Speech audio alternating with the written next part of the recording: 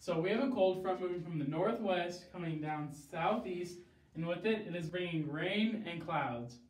Today's weather is low to mid 60s with a 45% chance of rain and 100% cloud cover. For day one, we have upper 60s with 100% cloudiness, 15 to 20 mile per hour wind speeds, and a light mist. For day two, we have mid 60s with 70% cloudiness, 15 to 20 mile per hour uh, wind speed, and light rain.